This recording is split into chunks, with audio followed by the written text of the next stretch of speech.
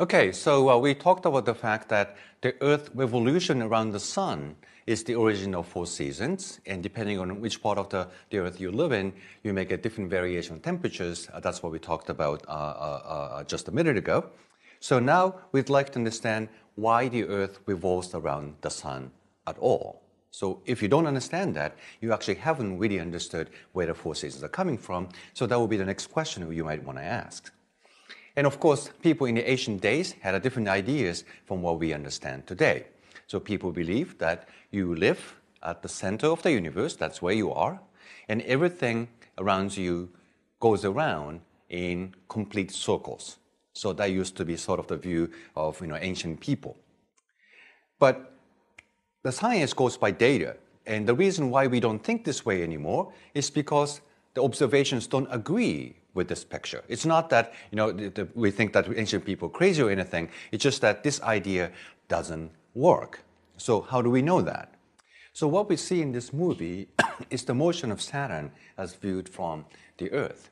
And you see that Saturn comes in, but sometimes goes back and, and goes forward and backward and so on. So you see that the Saturn moves in a rather unexpected way. Um, so if you think of this ancient picture that we are at the center of the universe, everything revolves around us in complete circles, you cannot possibly explain this simple observation. Just look at the Saturn every night and you don't understand that. So they had to actually change their understanding on the structure of the universe. So this is the revision to the previous idea. We are still at the center of the universe. Everything is moving about us. But if you look at the Saturn up here, then in addition to this overall revolution around the Earth, it does also this little its own motion. So as it moving around this way around the sun, uh, sorry, the, around the, the, Earth, it just goes back and forth a little bit in this little cycle called epicycle. So they had added this epicycle on the previous picture so that they could explain the observation.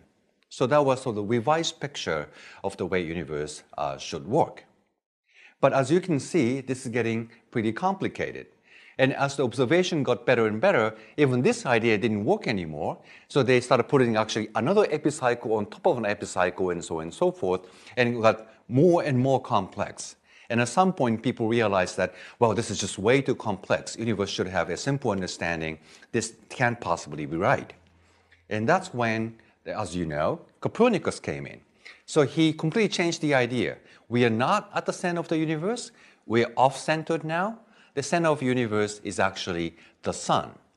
So he proposed that all the planets move in complete circles around the sun instead of around the earth.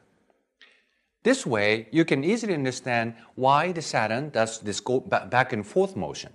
So if you're looking at the Saturn from the Earth, they go sort of different speed. So as we go on, if the Saturn is, is sort of falling behind, you might think the Saturn is moving backwards. But if you come back this way, then Saturn is moving forward. So depending on when you look at the Saturn, you might see that it's actually moving backwards or forward. And that's as you saw in the video, that's what actually Saturn looks like to us. So that seems to be much, much simpler explanation on back and forth motion of Saturn. But there was still a problem. If you re really look, look, look closely at the motion of the planets based on this idea, it looks very simple, but doesn't quite agree with observations either. So there was still a problem uh, people had to solve. And as you know, uh, it was solved only after Kepler. So Kepler pointed out that the, um, the, the orbits of the planets around the sun is not in complete circles. They are elongated ellipse, not by a lot, but a little bit. And because the data are getting so precise that this little elongation of the orbits in these ellipses instead of complete circles made a difference. And then everything agreed with the observations in the end.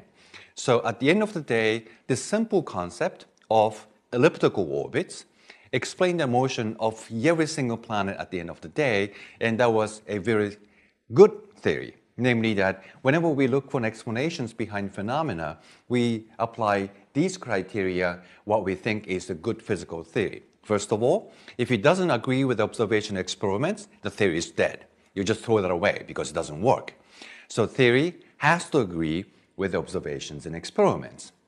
But at the same time, we'll be much happier with a theory that applies to many things at the same time. Unified description. We don't want a single theory for Mars, another theory for Jupiter, a different theory for Saturn. We would like to have a single theory of this elliptical orbit that applies to all the planets we can study, and that would be a criteria for a good physical theory. And also, we want the theory to be simple. If you have to put a so-called an epicycle on top of it, yet another epicycle on top of it, and so on and so forth, it's a very complex theory. At some point, you don't think that should be the right theory. We are always looking for a simple explanation to many phenomena we see, so that is one of the criteria for a good physical theory.